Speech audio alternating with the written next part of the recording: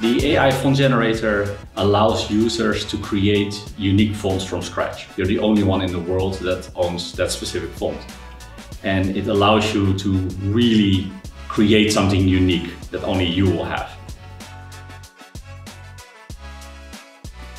So for about nine years, we have been selling fonts on Creative Fabrica, and we see it's immensely popular. AI is a massive component in the future of anything that is related to creating content. And we said, okay, can we bring that to fonts as well? Which seemed like a daunting task at first because it's highly complex. Many approaches offer font styling. So the challenge was actually creating a unique font that is not similar to something existing that is pure out of nothing creates a new font. Not a style font, but original new font. This was uncharted territory. You can't just have a random A here and later a random B on another side. These two characters really need to match up stylistically well. Control matters a lot. So it was a year long process to build a model that no one had gotten to work before. We managed to come up with a clever trick to force the model to learn the statistics about the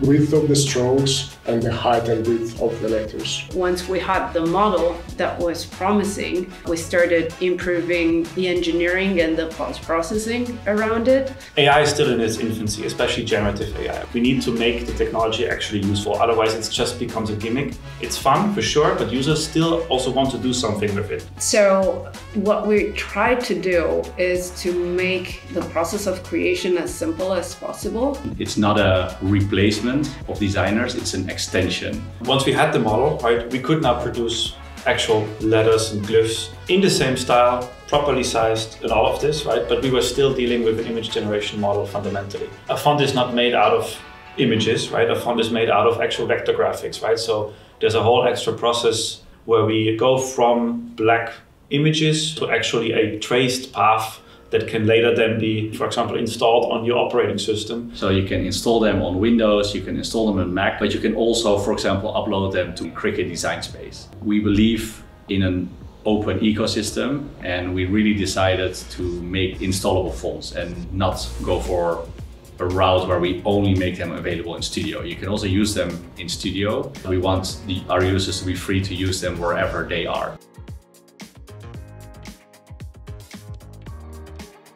A lot of the efforts in creating new generative models have been directed to professional content creators. The space of crafters has not received enough attention. We see that a lot of users, they come to our platform to find unique assets. And we believe that with AI, we can empower users to make more unique things. What we're really looking after is creating models that can get you from your image in your head to the design of the craft almost instantly. And that's also why it's important for us to get the user feedback on the existing platforms, on Studio, on the font generator as a product.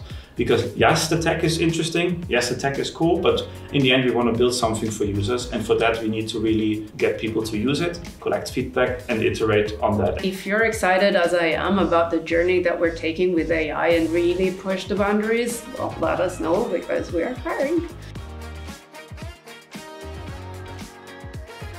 So our mission is to service crafters and creators worldwide from inspiration to creation. So that means not just getting an asset and that's it, but we want you to learn on our platform. We want you to be inspired on our platform. And also what we're doing now with the new tools that we're launching is allowing you to be more creative. AI models will play a massive part in this because they will be able to enable this democratization of design and, and let's say hyper personalization. We are going beyond just a marketplace. So we want to unlock your full potential through tooling, through technology. And we see that really as our mission to enable creators to be more unique and be more authentic. So you can register for free and you can start generating we would love to hear feedback and we would love to hear more ideas on tooling that you might be missing or features that you might be missing because we're just getting started and